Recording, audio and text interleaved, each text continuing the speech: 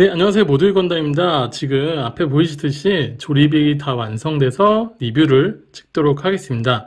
어, 앞에 보이시는 건 이제 중국산 레고고요. 중국에서 만든 스피드 챔피언으로서 이제 오른쪽부터 어, 689번 페라리 푸로산게이고요. 그리고 두 번째가 이제 690 람보르기니 우루스 그리고 이 세 번째가 790 롤스로이스 컬리넌입니다. 어, 가격은 전부 다 어, 대략적으로 9,000원, 뭐 만원 안팎으로 구매를 했고요. 그리고 피스 수는 롤스로이스부터 480개, 그리고 408개, 416개로 되어 있습니다. 어, 사실 가격이 굉장히 저렴하죠. 보통 이런 스피드 챔피언 시리즈 일반적인 레고 같은 경우는 제가 알기로는 가격이 대략 한 35,000원 뭐 그 정도로 알고 있는데 가격이 대략 뭐 3분의 1에서 4분의 1 정도로 된다고 보시면 될 것 같습니다.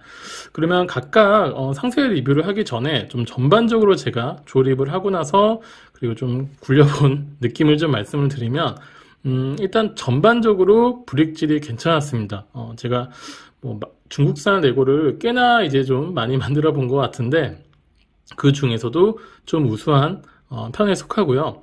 그리고 결합력 블록을 결합할 때 다소 뻑뻑하지가 않고 나름 부드러웠어요. 그래서 손도 아프지 않고 어, 잘 조립이 됐다. 네, 그거는 아마 중국 레고를 접하신 분들은 무슨 말씀이신지 아실 거예요.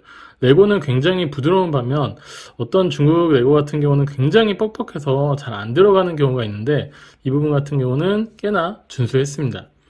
그리고 어, 설명서가 좀 잘 되어 있었어요. 마지막 페이지에 이제 전체 구성도도 나오고 보기에도 좋고 네, 전혀 조립하는데 무리는 없었습니다. 그리고 이제 초반에 보셨다시피 봉지가 어, 꽤 고급졌던 것 같아요. 뭐 다른 어, 봉지를 보면 가끔 이제 먼지도 많이 쌓여서 손에 묻는 경우가 있는데 어, 이번에는 꽤 괜찮았습니다. 그럼 단점 같은 경우는 음, 물론 이제 500피스 이하기 때문에 뭐 크게 어, 렵진 않은데 그래도 이제 봉지에 세부 번호가 없기 때문에 조금은 이제 찾는데 어려울 수는 있을 것 같아요.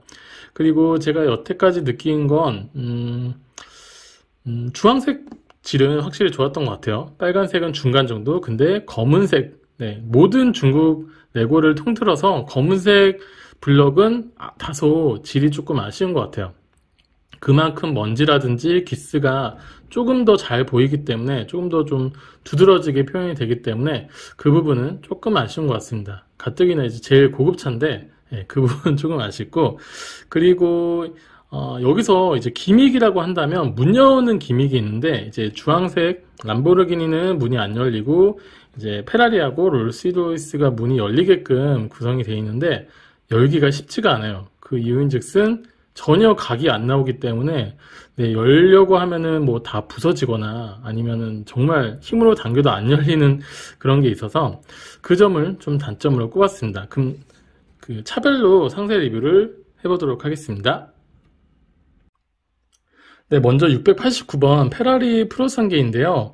뭐 박스라든지 설명서에서 보셨다시피 굉장히 좀 날렵하고 색감도 두드러진 빨간색을 보실 수 있습니다. 이제 완벽한 뭐 세단은 아니죠. 뒤에 이제 뭐 약간 트렁크까지 연결되어 있는 쿠페 형식인데 그럼에도 꽤나 이제 날렵한 모습을 좀 보여주는 것 같습니다. 어, 데칼은 좀 최소화해서 조금만 들어 있고요. 그래서 앞에 부분, 후드 부분 그리고 뒤에 쪽, 뭐 램프라든지 번호판 뭐 이 정도만 된 것 같아요. 근데 이제 어, 바퀴도 이제 도금이 처리가 된 바퀴가 되어 있고 그리고 뒤에 예, 이쪽 배기구 네, 이쪽도 도금 크롬 코팅된 블럭이 들어있어서 한층 더 그런 고급짐을 뽐내는 것 같습니다. 어, 조금 아쉬웠던 점은 아까도 말씀드렸다시피 이게 지금 문이 열리는 기믹으로 되어 있는데 도저히 열리지가 않아요. 네, 이거는 이 네, 은색 도색된 이 블럭은 이제 많이 닌자고라든지 이런 데서 장난감 차로 등장했던 그런 블릭인데 그게 이제 문잡 그문 손잡이로 어 이렇게 쓰였다는 것 자체가 되게 참신한 것 같아요. 근데 실상 문은 열 수 없다라는 거. 기믹은 있지만 이게 너무 뻑뻑해서 열 수가 없다라는 게 조금은 네, 함정 같습니다.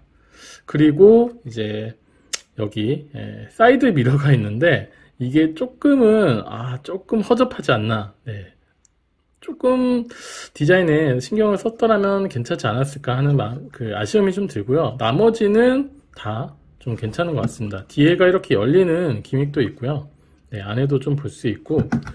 근데 또 한 가지가 어, 나머지는 결합력이 다 좋아요. 어디 하나 떨어지는 데도 없고. 아까 여기가 자, 잠깐 떨어졌는데 이제 조금 어, 외관의 디자인이라든지 좀 날렵함을 위해서 이제 양 사이 그 끝단에 이렇게 하나 블럭을 붙여 놓은 걸로 보이는데 이게 결합되는 부분이 하나밖에 없다 보니까 계속 돌아가거든요.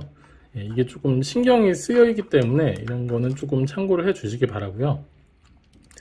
그리고 음, 특별한 거는 네, 저는 사실 이렇게 작을지는 몰랐거든요. 여태까지 이제 테크니 뭐 4,000피스 정도 되는 그런 슈퍼카 라인업을 조립을 하다가 처음으로 이런, 네, 그러니까 모듈러에 딸려 나오는 자동차 말고 네, 이런 자동차는 처음 구매를 해봤는데 실제로 되게 아기자기해서 그 4,000피스 되는 거는 굉장히 기, 길잖아요. 대략 한 60cm 정도 되는 걸로 알고 있는데 이거는 이 길이가 대략 뭐 17cm 그 정도기 때문에 어, 전시하기도 꽤나 용이할 것 같습니다.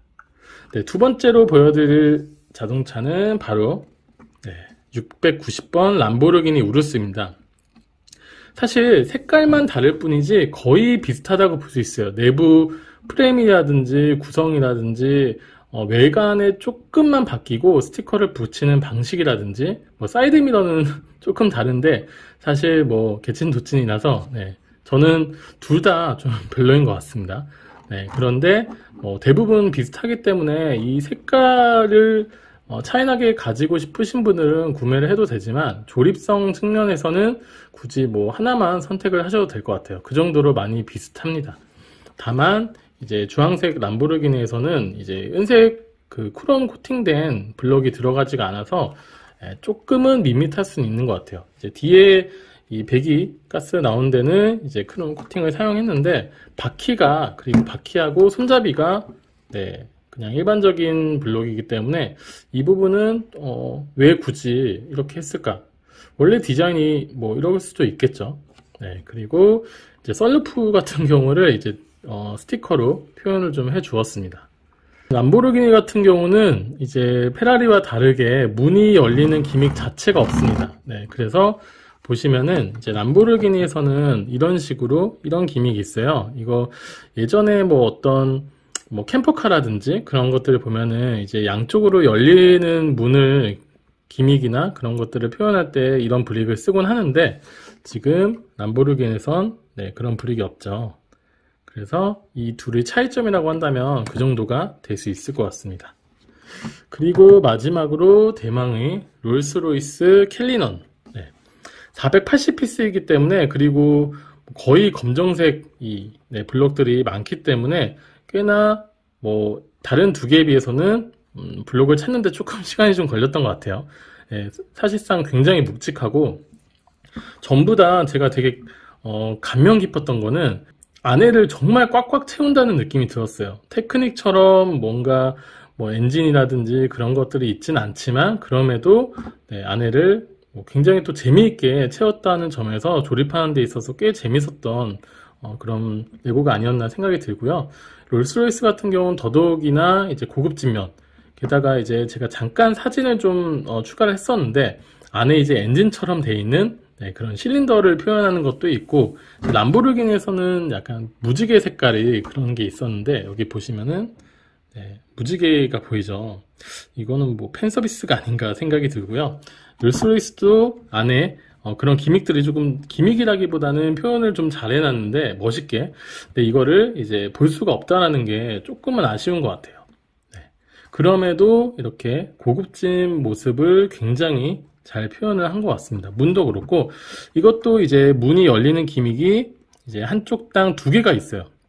그래서 앞쪽, 뒤쪽 다 문이 열리게끔 돼 있는데 이것도 마찬가지로 굉장히 뻑뻑하기 때문에 뭐 사실상 뭐 나올 여유분이 없기 때문에 사실 열 수가 없죠. 그래서 저도 조립을 하고 이걸 닫는데 꽤나 좀 어려움이 있었는데 이건 좀 파손도 조심하셔야 될 것 같습니다.